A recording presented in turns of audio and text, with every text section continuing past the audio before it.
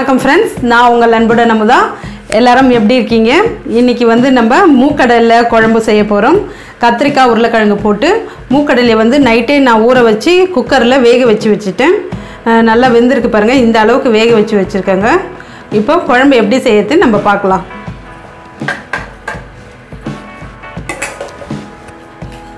ஒரு வெங்காயம் எடுத்திருக்கேன். ஒரு பெரிய வெங்காயம் நல்லா பொடியாக கட் பண்ணி வச்சுருக்கேன். அதை அப்படியே போட்டுடலாம். வெங்காயம்லாம் தக்காளிலாம் வதக்கணும்னு அவசியம் இல்லை. அப்படியே போட்டுடலாம். அதே மாதிரி ஒரு தக்காளி பொடியாக கட் பண்ணி வச்சுருக்கேன். அதையும் போட்டுடலாம். ஒரு ரெண்டு கத்திரிக்காய் பெரிய பெருசாக இருந்துச்சு. அதனால் ரெண்டு எடுத்திருக்கேன். கத்திரிக்காய் வந்து நல்லா இந்த மாதிரி கட் பண்ணியிருக்கேன். இந்த மாதிரி கட் பண்ணிங்கன்னா நல்லாயிருக்கும் இந்த குழம்புக்கு. இந்த கத்திரிக்காவையும் போட்டுடுறேன். கத்திரிக்காவை கட் பண்ணி தண்ணியில் போட்டு வைங்க. இல்லாட்டி கருத்துரும். அதனால தான் தண்ணியில் போட்டிருக்கேன். நம்ம செய்யும்போது உடனே எடுத்துடலாம்.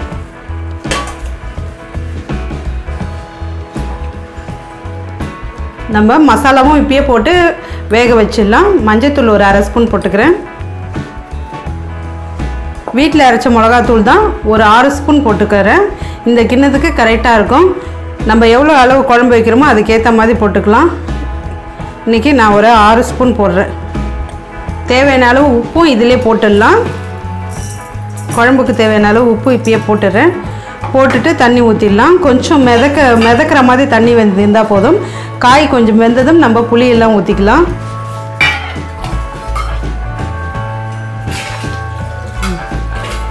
இந்த அளவு போதும். இப்போ நான் அடுப்பை ஆன் பண்ணிக்கிறேன்.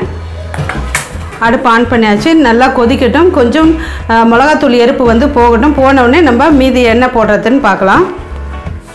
அஞ்சு நிமிஷம் நல்லா கொதிச்சிச்சு பாருங்கள் கத்திரிக்காவும் நல்லா வெந்திருக்கு. இப்போது அடுத்தது என்ன போடுறதுன்னு பார்க்கலாம். புளி வந்து ஒரு சின்ன எலுமிச்சை பழ அளவு புளியை நல்லா தண்ணியாக கரைச்சி வச்சுருக்கேன். அதை போட்டுடலாம்.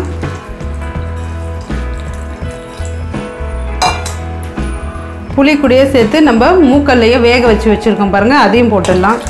மூக்கடையில் வந்து தண்ணி அதிகமாக இருந்துச்சுன்னா நம்ம ரசம் அந்த தண்ணி எடுத்து ரசம் வச்சோன்னா ரசம் வந்து சூப்பராக இருக்கும். அது கொஞ்சம் ட்ரை பண்ணி பாருங்கள் இப்போ புளியோட பச்சை ஸ்மெல் போகணும் அதனால் ஒரு அஞ்சு நிமிஷம் கொதித்தா போதும். நல்லா கொதிக்கட்டும். அதுக்குள்ளே நம்ம தேங்காய் வந்து அரைச்சிட்டு வந்துடலாம். ஒரு அரை கப்பு தேங்காய் வந்து எடுத்து வச்சுருக்கேன். தேங்காய் கூட வேறு எதுவுமே சேர்க்க வேண்டாம். நல்லா நைஸாக அரைச்சி எடுத்துகிட்டு வந்துடுறேன். அஞ்சு நிமிஷம் நல்லா கொதிச்சிடுச்சு. புளியோட பச்சை ஸ்மெல் போயிடுச்சு. நம்ம தேங்காய் அரைச்சோம் பாருங்கள் அதை வந்து இதில் ஊற்றிடலாம் நல்லா ஃபைன் பேஸ்ட்டாக அரைச்சாச்சு. தேங்காய் போட்டாச்சு. தேங்காய் போட்டதும் நம்ம ரெண்டு உருளைக்கிழங்கை வந்து வேக வச்சு கட் பண்ணி வச்சுருக்கேன். அந்த ரெண்டு உருளைக்கிழங்கையும் போட்டுடலாம் நம்ம. உருளைக்கிழங்கு கடைசியில் போடுங்க. ஏன்னா முதலே போட்டால் உப்பு எல்லாம் எடுத்துரும். அதுக்காக தான் நம்ம கடைசியில் உருளைக்கிழங்கு போடுறோம். உருளைக்கிழங்கு போட்டு தாளிச்சிடலாம். தாளிச்சிட்டு ஒரு அஞ்சு நிமிஷம் கொதிக்கணும். இப்போ என்ன என்ன தாளிக்கிறதுன்னு நம்ம பார்த்துடலாம் எண்ணெயே யூஸ் பண்ணல குழம்புல. அதனால் கொஞ்சம் தாளிக்கிறதுக்கு ஒரு ரெண்டு டேபிள் ஸ்பூன் எண்ணெய் ஊற்றிக்கலாம் இந்த அளவு ஊற்றிக்கோங்க கொஞ்சம் நல்லா இருக்கும். அப்போ தான் ரெண்டு டேபிள் ஸ்பூன் எண்ணெய் ஊற்றியாச்சு எண்ணெய் காஞ்சிச்சு நல்லா. இப்போ நம்ம கடுகு போட்டுக்கலாம்.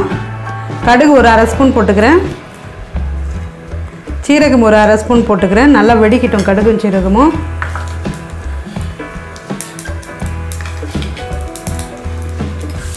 நல்லா வெடிச்சிருச்சு. கடுகும் சீரகமும் நம்ம மூக்கடலை வெள்ளை மூக்கடலை போட்டதால் பெருங்காயம் போடலாம். கொஞ்சம் ஒரு அரை ஸ்பூன் பெருங்காயம் போட்டுக்கிறேன். ரெண்டு கொத்து கருவேப்பிலை.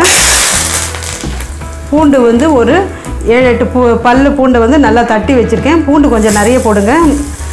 பூண்டை கொஞ்சம் எண்ணெயில் நல்லா வதக்கிடலாம். வதக்கிட்டு குழம்புல போட்டுடலாம். குழம்புல ஒரு அஞ்சு நிமிஷம் கொதிக்கணும். தாளிச்சாச்சு. இப்போது குழம்புல கொட்டிடலாம். குழம்புல போட்டுறேன் தாளிச்சதை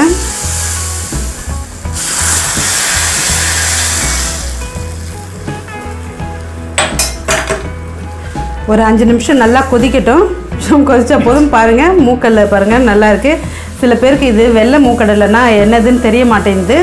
சொன்னால் தெரிய மாட்டேங்குது. பார்த்தா அவங்களுக்கு தெரியும். அவங்கவுங்க இதில் ஒரு ஒரு ஒரு இது சொல்கிறாங்க சில பேர் கொண்ட கடலைன்னு சொல்கிறாங்க சில பேர் சுண்டல் கடலைன்றாங்க.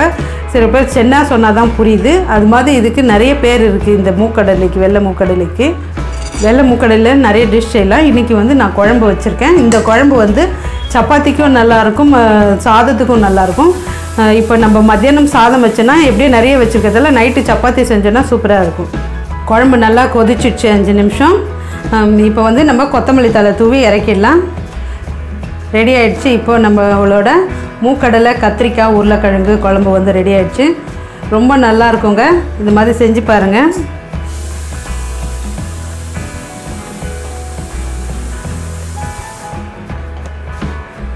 தண்ணியாக இருக்க மாதிரி தான் தெரியுது. தெரியுது பாருங்கள் இன்னும் கொஞ்சம் நேரத்தில் திக்னஸ் ஆகிடும் அப்புறம்.